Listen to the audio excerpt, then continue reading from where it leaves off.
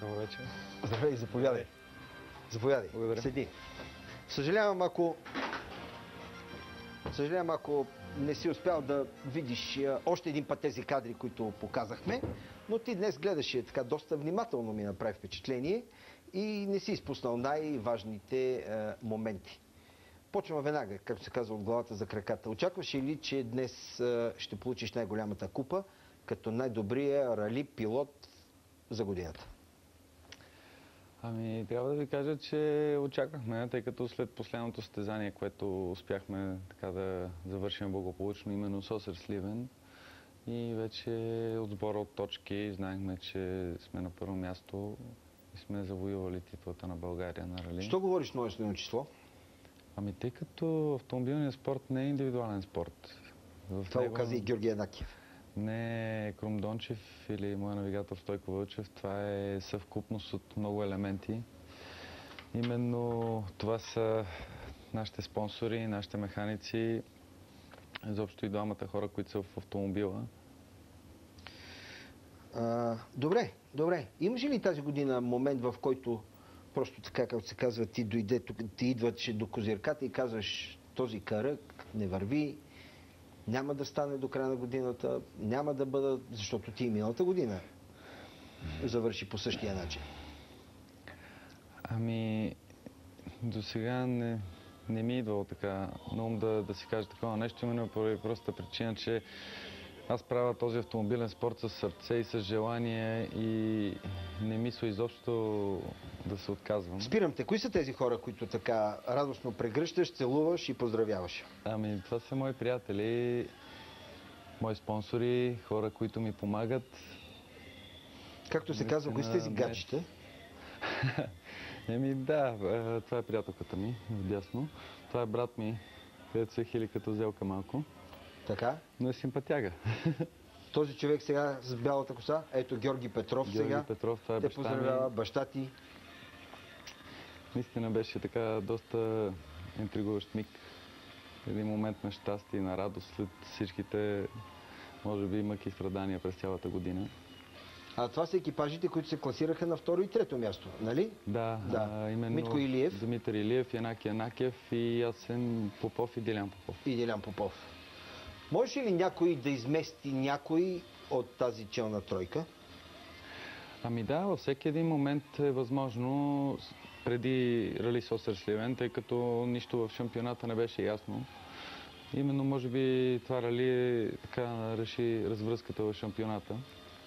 И разбира се, Юрали, Митко беше така доста напред с точките и доказа, че е един много бърз пилот и завърши първи от българите на Юрали, което така му допълни сбора от точки излезе на втора позиция. А, Ясен имаше доста незгоди през годината и а, на Юрали доказа, че единствено, нали, той е един, един много добър така пилот и той допълни сбора от точки и остана на трета позиция. Има някакво анонимно телефонно обаждане, което е свързано с тебе и е, ми се иска да го посрещнем двамата, ако трябва да отбраняваме нещо или пък ако трябва да ние да се защитаваме. Имаме ли човек на телефона?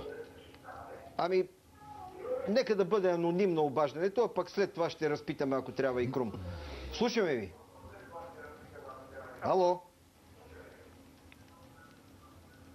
Ало. Да. Дали Крум помни кога го е учил да кара Стойко? Така, и още нещо. Нещо ме на шипка. Още въпроси има ли или някакви други е, впечатления, свързани с Крум?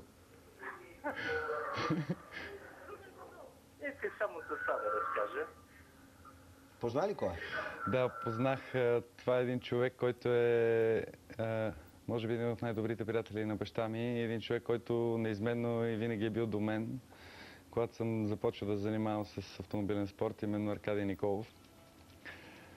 И искам да кажа, че да, помня кога Стойко ме да карам.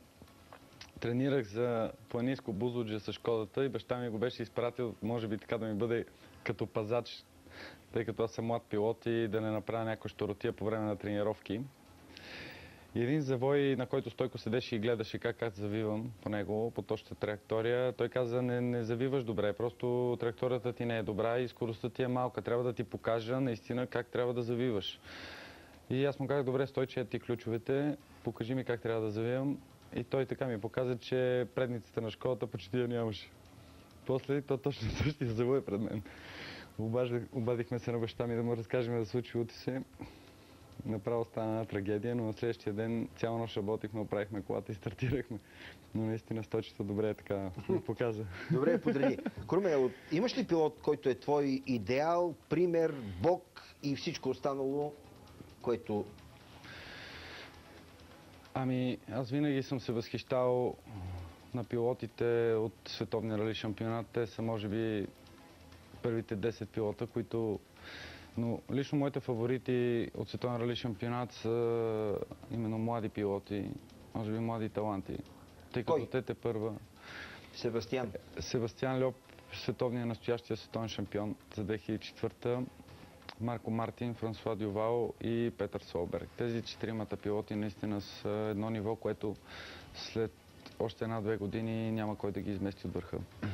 А тези Канконен, Манконен, Разбира се. А, Ориол и така нататък. Разбира се, това са пилоти с доста голям опит зад гърба си, доста постижения в своята спортна кариера, но все пак всяко едно нещо в този живот и в този свят има някакво, някакво развитие, претърпява и смятам, че тези момчета, именно сега тези моите момчета са по нова техника, имат, притежават нова техника на каране и именно това ги тласка напред.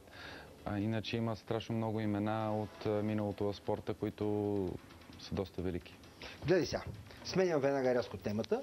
Имаме едни въпроси, които след малко ще ти ги задам. На тях се отговаря с не, не и да, много бързо. Като тест. Да, като тест. Сега обаче искам да те помоля да нарисуваш една картина, защото ние ще правим изложба от тези картини. Ето, давам ти лист, А, леле. давам ти а, фулмастри, каквито цветове искаш. Давам ти пример. Ето, Поп Ангелов е нарисувал това нещо. Това нещо Любо Ганев го е нарисувал. Е, това е за да те аз успокоя. мислих къща да... Не, това не. Каквото искаш, разбира се, твоята къща ще е това Иляна Раева и така нататък и така нататък. А, Ами, започвай. добре. Няма да те занимавам Може ли да си извада а, един прибор, с който да рисувам? Може. Ха, добре, добре, добре. Това за първи път. Да, абсолютно. Можеш. Имаш а, около 3-4 минути. Така че ако не успееш да довършиш рисунката, ще ти я дам да я довършиш. А ние през това време, нека да пуснем онзи клип с избраните кадри от рали шампионата, за да можем през това време да оставим Крум да рисува на спокойствие.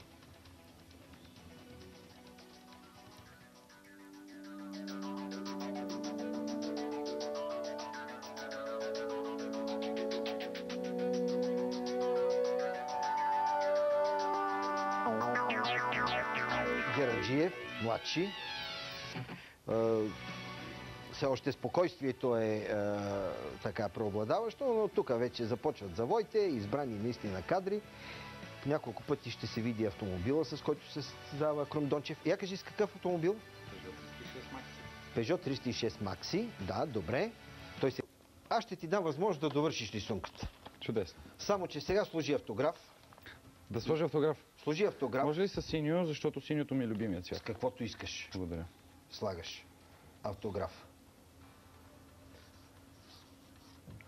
Добре, датата 27 ми там някъде, да, 27 декември, 27 декември 2004, ако си забравил. Добре, така. А, към а, режисьорите. Я да видим дали можем съвсем леко така да го развълнуваме и едновременно с това изненадаме нашия събеседник. Ще, нали, ще разкажа нещо, което е малко така смешничко, не толкова нали, сериозно. Веднъж една вечер на тръгване от китайски ресторант бяхме вечеряли. Беше така леко заледено, това мисля, че беше миналата зима. И тръгваме си така с компания, качваме се ние в колата и пилот номер едно на България реши да дръпне ръчна с 5 км и след което се удари бордюра. Дори има и свидетели, ще ги спомена. Теодор Цолов, Цветелина Манолова, Светомир Георгиев и аз, нали, Цветелина Кирилова. Кой се оплаши най-много? Ами, той се направи, че нищо не е станало, защото все пак това не е нещо така необикновено за него. В смисъл, той всичко изпипва до край. И това, че се удари в бордюр, малко го изненада, но си замълча така. Аз се оплаших, ама малко, защото все пак беше с 5 км в час. Кой е въпроса, който ще му зададеш? Ами... Какъв да е въпроса? Не съм мислила, но предполагам, че иска да стане световен шампион, на който почти знам отговора, но искам да го чуя от него. И аз искам да го чуя от тебе. Ами, благодаря за изненадата, беше така доста приятна. Ами няма, може би, човек на земята или дете или спортист, който да не иска да бъде в своя отрасъл на върха. Но, за съжаление, за възможностите на България това е доста трудно. Имайки предвид, тъй като трябват много, страшно много финансови възможности. Не, че нямаме кадърни спортисти, напротив. Автомобилните кадри в България, поне последните години, откакто аз ги помня, има страшно бързи пилоти и страшно мислещи пилоти. И смятам, че те могат да стигнат много нависоко. Но единствено и това, което ни спира, това са средствата. А, Иначе си готов. Готов съм да атакувам. Нова година къде? Във Варна.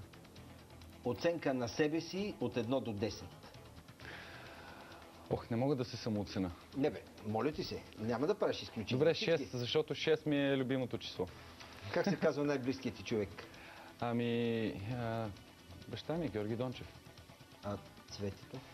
Цвети е по друг начин близка с мен. С кого би искал да вечеряш? С всички мои приятели. С кого би искал да закусваш? Това е важно. Ами, с Цвети. Не чух. С Цвети. Не чух. Добре, виж сега, имам още една серия въпроси, тъй като нямаме време. Не, не искам да те отделям и от цвети. А, дайте само да покажа рисунката. Ето. Въпросите, Това останалите, произведение на изкуството. останалите въпроси а, ги запазвам. Ще ти ги дам да отговориш спокойно. Казвам ти, много ти благодаря, че дойде.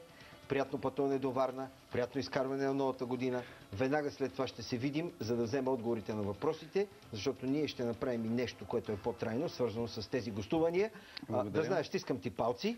Благодаря. И заедно искам да измислим другата година нещо, с което ти като пилот, млад човек, купунджия, да бъдеш полезен на тези, които биха взимали пример от теб. Не да удряш джантите в тротуарите, а как да завърташ колата, как да шофираш безопасно, едновременно с това атрактивно и бързо, за да се е, радват гаджетата и околните. Съгласен ли си? Съгласен съм на 100%. Бих искал за финал да отправя така едно пожелание.